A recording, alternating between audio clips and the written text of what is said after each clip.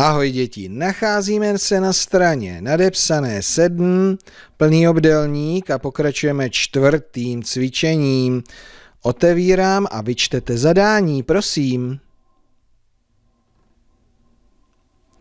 Čtete vybarvy sloupce nadepsané dvojkou zeleně, nadepsané čtyřkou červeně a tam, kde je šestka, modře. Tak jak to uděláme? Nejdříve si najdu sloupec nadepsaný dvojkou, tak dvojka je tady a jedná se o tenhle ten sloupec. Beru si zelenou barvu a vymaluju. Sloupec nadepsaný če...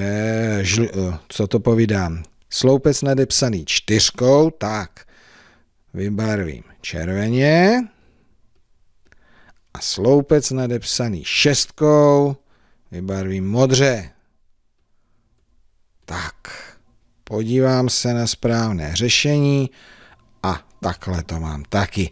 Takže teďka už v mě nezbývá nic jiného, než vám držet palce, aby se vám to také takhle povedlo.